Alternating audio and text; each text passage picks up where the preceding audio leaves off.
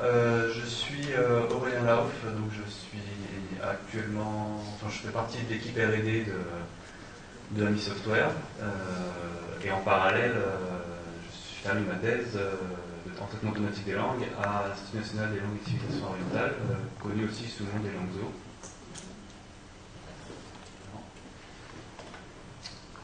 et donc aujourd'hui, je, enfin, en tout cas, moi, je ne vais pas vous faire une démo euh, en direct de la mission Software, ça sera plutôt euh, tout ce qui est retour d'expérience, etc. Ça sera plutôt Forboul cet après-midi. je pensais que je serais une bonne idée de, prendre un petit peu plus de distance pour voir un peu comment la cartographie peut rentrer de façon euh, générale dans tout le cycle de vie de la veille, en espérant que ce ne soit pas trop théorique quand même. Euh, donc, je vais parler dans un premier temps de, la veille, donc des différentes problématiques et des enjeux. et des enjeux. Euh, en particulier ensuite sur le problème de la détection des sources d'autorité, qui est un, gros problème de la veille, avec donc description des, solutions et des limites actuelles et en quoi la cartographie peut, aider pour cette tâche. Et ensuite, je vais parler très rapidement, je vais rajouter à la dernière minute parce que j'ai constaté que personne vraiment parler euh, des histoires euh, qui intéressent peut-être que des linguistes, mais en tout cas de la cartographie lexicale et qui, a priori, un sens en tout cas dans, le cycle de vie de la veille. Euh, donc en fait, la veille, pour simplifier, on peut dire qu'il s'agit d'identifier, analyser, modéliser et représenter le, cheminement d'une information sur le web. Donc en gros, on veut savoir qu'est-ce qui se dit. Donc en fait, par exemple, extraire des thématiques, extraire des tonalité, euh, extraire des concepts clés, etc. Et aussi d'un autre côté, savoir qui parle, euh, est-ce que ce sont des gens influents, comment c'est diffusé dans les réseaux, etc. Et donc, euh, une problématique auquel on est souvent confronté, c'est donc comment identifier des sources pertinentes, parce qu'en tant que veilleur, il s'agit donc de surveiller des sources bien choisies. L'expert connaît un, catalogue de sources de qualité, Sauf que, comme disait, euh, on a vu la discussion avec Franck hier à table, euh, un expert a souvent une très bonne vision rétrospective de son domaine, donc il sait très bien ce qui s'est passé avant, il est peut-être un peu moins doué pour savoir ce qui va se passer après. Et donc il y a l'émergence de sources en permanence et il faut être capable de fournir des outils qui peuvent, euh, entre, guillemets, mâcher le travail du, du veilleur pour lui proposer des pistes qui lui-même va, va, valider. Donc une source pertinente, c'est quoi? C'est une source dite d'autorité, donc c'est le terme qu'on utilise euh, dans la littérature. Donc c'est une source qui est euh, visible. Alors sachant que le mot autorité, il veut un peu tout dire dans la littérature, ça peut être. Il y a une notion de pertinence, d'influence.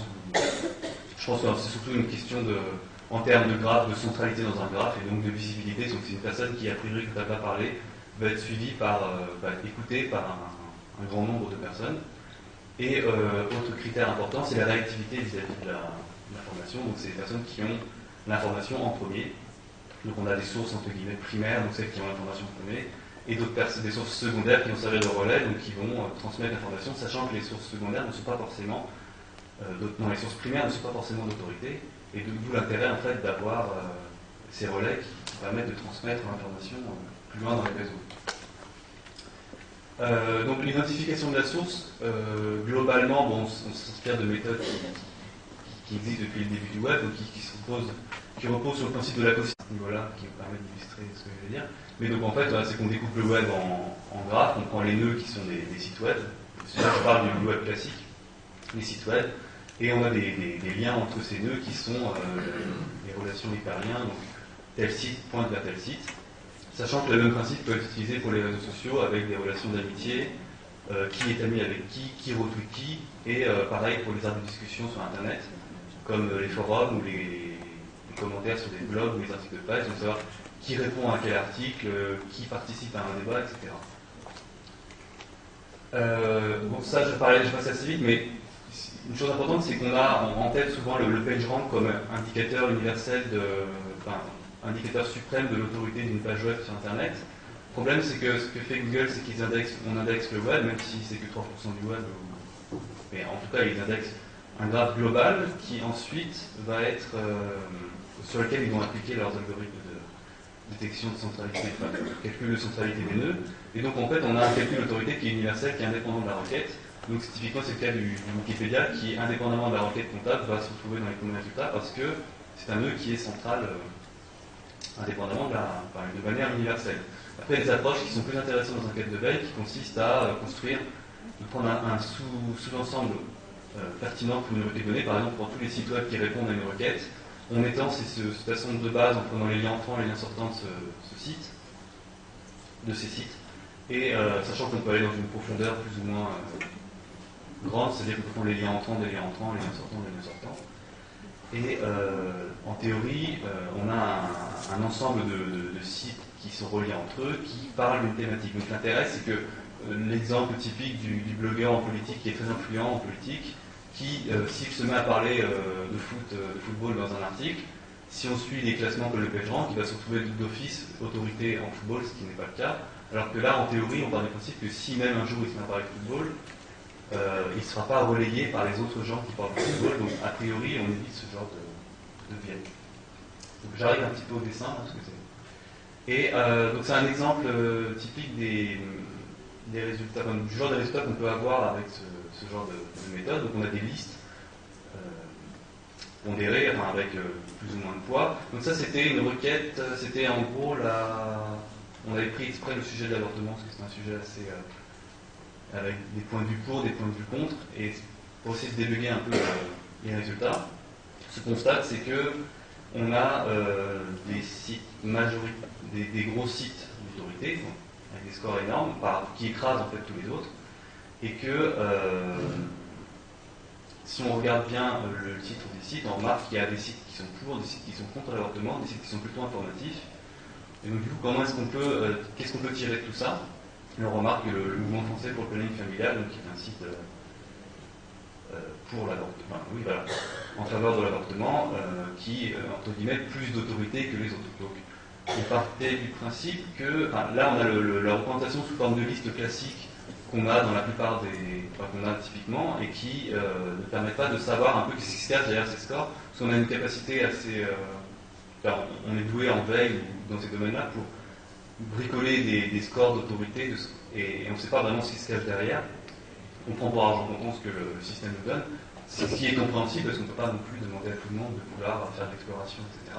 Mais euh, pour certains types d'utilisateurs qui veulent créer un catalogue de sources un peu plus précis, euh, essayer de, euh, de, recontextualiser un maximum l'information. Donc là, j'arrive tout ce qui est cartographie. Donc on partit du principe qu'une une source d'autorité n'était d'autorité que pour une communauté donnée, ce qui est vrai aussi dans la de toute façon, et que donc du coup, sur les sous-graphes que l'on extrait, on va y appliquer des algorithmes de clustering, donc de détection de, de communauté, sachant que la définition de communauté reste un peu à, l'interprétation de chacun, mais en gros, on cherche des, éléments du graphe qui sont plus, qui sont plus denses comparativement au reste du graphe, et euh, de façon à avoir un peu donc en fait, l'idée, c'est au lieu d'appliquer des, scores d'autorité, au lieu de construire un, ensemble de, pages qui sont pertinentes pour une requête donnée et d'y calculer l'autorité, on va prendre cet ensemble de pages, on va essayer de détecter des communautés en amont, couper le graphe en plusieurs parties, et pour chacune des communautés, euh, voir un peu euh, ces classements-là en fait. Donc euh, ça c'est un exemple de, pour reprendre l'exemple de l'avortement sur le,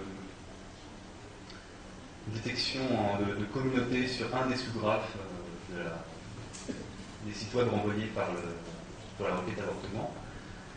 Euh, donc ce qu'on remarque, c'est qu'en gros, le système nous dit euh, il y a trois grosses communautés, une qui est indiquée en bleu en haut, qui en fait, quand on regarde bien le site de, près, on remarque que ce sont des sites qui sont catholiques, extrémistes, réactionnaires. Donc c'est pas moi qui dis qu'ils sont réactionnaires, c'est eux-mêmes parce qu'il y a des bannières sur leur site. Hein c'est une manière certifiée réacosphère, je crois. ils sont conscients eux-mêmes de leur appartenance communautaire. Ensuite, à gauche, en beige ou en orange ou en saumon, je ne sais pas, euh, on a une communauté plutôt de toujours de catholiques. Donc ça, c'est toujours des communautés euh, catholiques a priori anti-avortement. mais en, beige, on a plutôt tout ce qui est euh, vaticaniste, je ne sais pas si ça existe comme mot, mais des, gens qui sont très proches du Vatican. Et en bas, on a une communauté plutôt de catholiques entre guillemets modérés, ça veut dire ce que ça veut dire, mais c'est principalement des, blocs tenus par des prêtres. Donc en fait, ce qu'on remarque là très vite, c'est qu'on a un nœud central qui est en bleu foncé, qui sert un peu de passerelle entre, entre ces différentes communautés. Et ce qu'on remarque aussi, c'est que en fait, la communauté Orange Foncé est mal clusterisée. Parce que si visuellement, on remarque qu'il y a quand même une chose qui saute aux yeux, c'est qu'il y a une espèce de, coupure au milieu. Et quand on regarde bien en fait, les sources qui sont à droite, sont en fait globalement des sites juridiques légaux, euh, avec notamment le, site euh, de Matréolas qui est connu euh, en France. Et la, question de savoir qu'est-ce qu'ils font là, en fait, on constate très vite que, l'algorithme de clustering n'a pas fait son travail, n'a pas été capable de clusteriser convenablement le, graphe. Mais en fait, bon, visuellement, on s'en rend très vite compte, donc du coup, ça permet de corriger le tir de façon assez facile.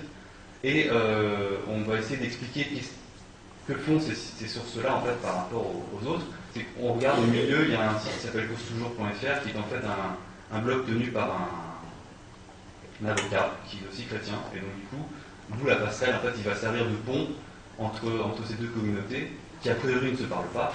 Mais euh, donc c'est l'importance dans les réseaux des, liens faibles, enfin des liens périphériques qui vont permettre de, de, de, de vers des, des autres mondes. Quoi.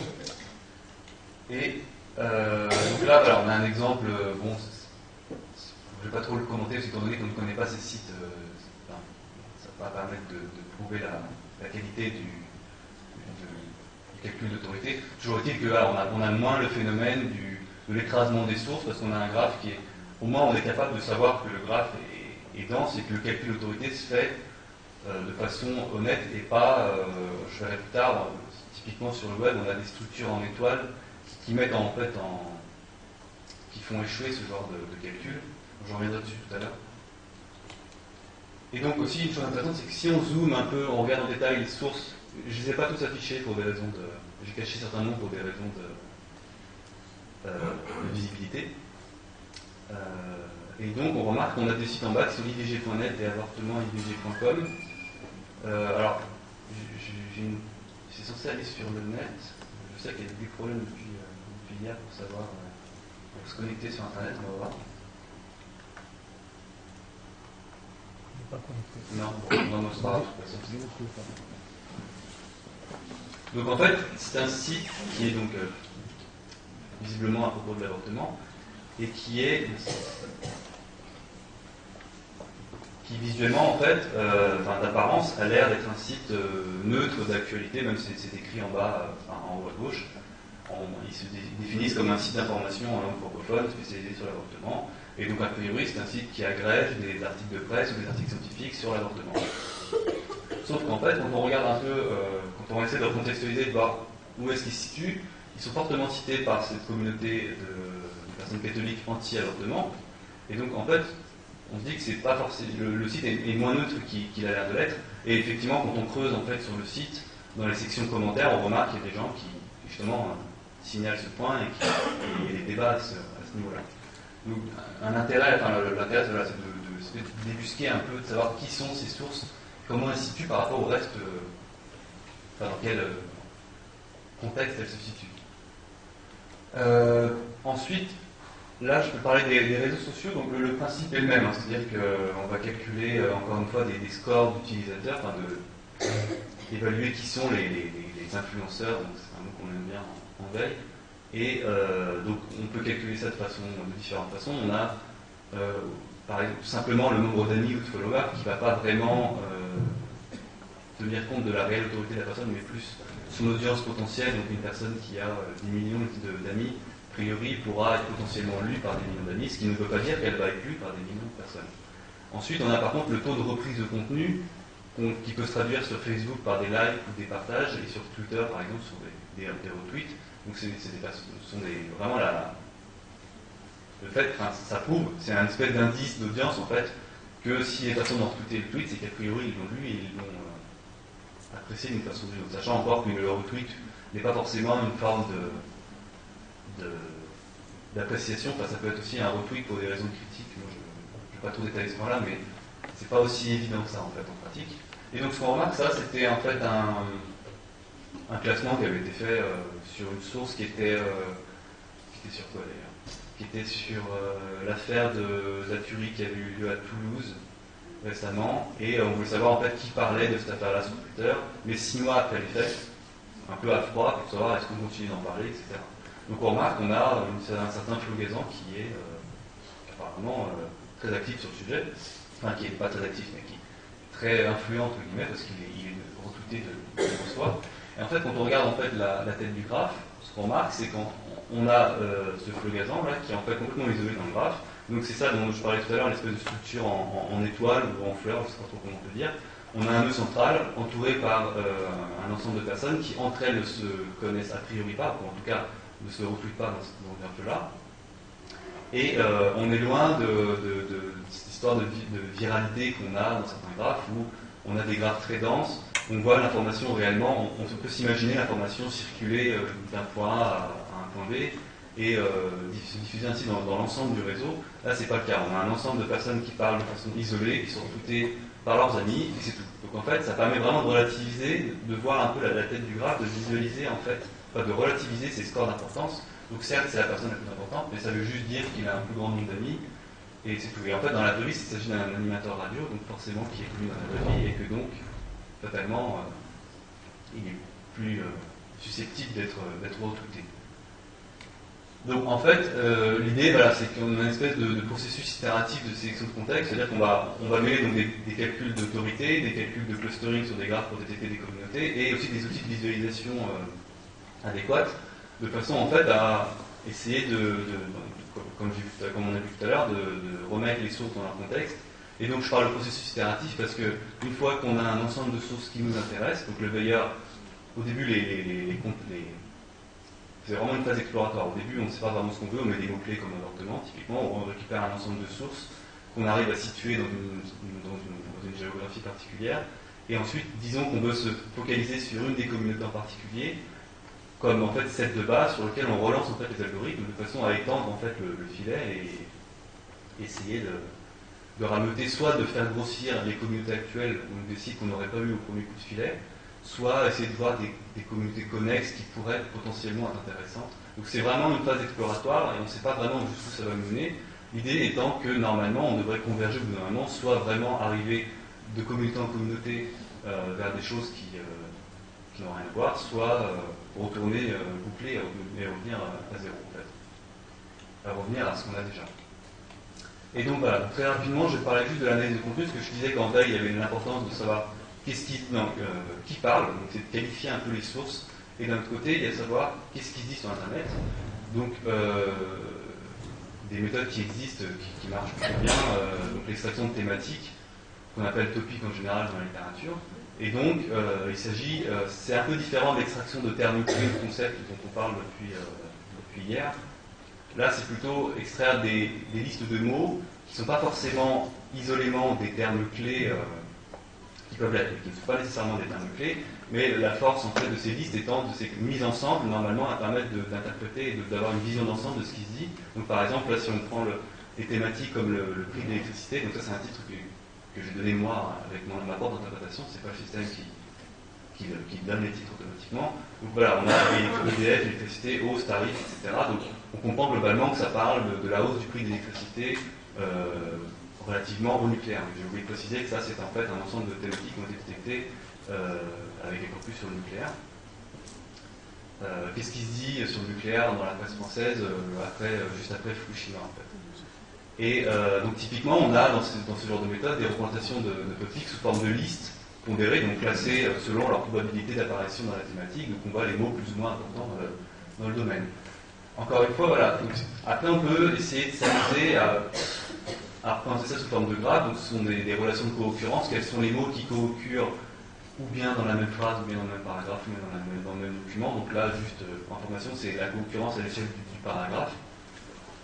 Et on a, euh, on voit que là, si on zoome en fait sur la communauté, sur, euh, sur j'avais vu, tout à l'heure, voilà, il y avait la troisième thématique qui était sur Tchernobyl qui en fait, quand on, voit vraiment en fait, quelles sont les relations, quels sont les mots proches les uns des autres, que c'est pas juste une liste sur Tchernobyl et qu'en fait il y a des sous-thématiques au sein de chacune des thématiques. Donc on a en rouge à droite plus ce qui est la construction du sarcophage de confinement autour de, Tchernobyl, qui est relié par 1986 à, euh, tout ce qui est mort, commémoration des victimes, etc. Et à radiation, donc qui est en noir sur fond bleu, radiation, donc tout ce qui est contamination, études scientifiques sur le sujet. Donc l'intérêt de ce genre d'approche, c'est de pouvoir ensuite avoir un, ensemble de mots déjà qui nous, permettent de savoir d'avoir une vision ensemble de ce qui se dit sur, sur la thématique, et d'autre part, automatiquement essayer de clusteriser les documents euh, de façon à simplifier un peu la tâche après, quand on, une, fois, une la collecte faite, de, ranger les documents dans des catégories qui auraient pu après qu'à être euh, validées ou pas par le, par le Donc ça c'est un peu la même chose mais avec un graphe un peu plus intéressant. C'était l'affaire des SK en fait euh, à New York la première semaine et quelles, sont les, quelles sont en gros les, grandes histoires qui avaient eu lieu à cette époque-là. Donc on remarque au milieu on a forcément le, Bon, c'est au milieu par hasard. Hein. Ah non, pas vraiment. En fait, c'est la structure du graphe qui fait que c'est au milieu. Mais c'est pas parce que c'est central, c'est juste les algorithmes de force qui font qu'ils se retrouvent à ce moment-là. Mais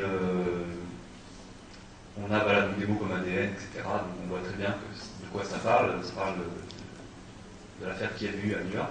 Et ensuite, donc on voit la passerelle qu'il y a avec l'affaire de Tristan Valmont donc, euh, en France, et qui relie tout ça avec les histoires plutôt politiques en France, avec euh, Royal Aubry au moment des primaires. Euh, en bas, c'était coupé, là, parce que mon screenshot n'a pas été assez loin, mais on commence à parler après du MP, etc. Et en rouge à gauche, on a plutôt tout ce qui était les histoires de, succession euh, au FMI, par Christine Lagarde.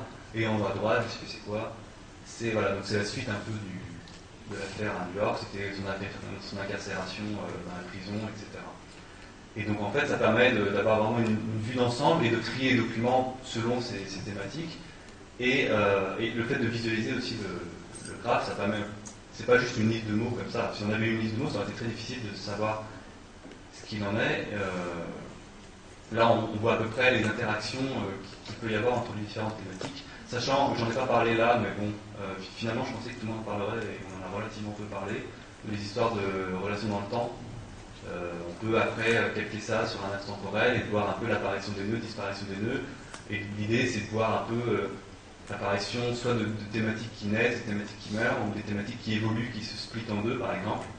Euh, donc là, je parle de l'évolution dans le temps des, thématiques euh, lexicales, mais on peut très bien revenir en arrière et euh, reprendre l'histoire des thématiques des communautés.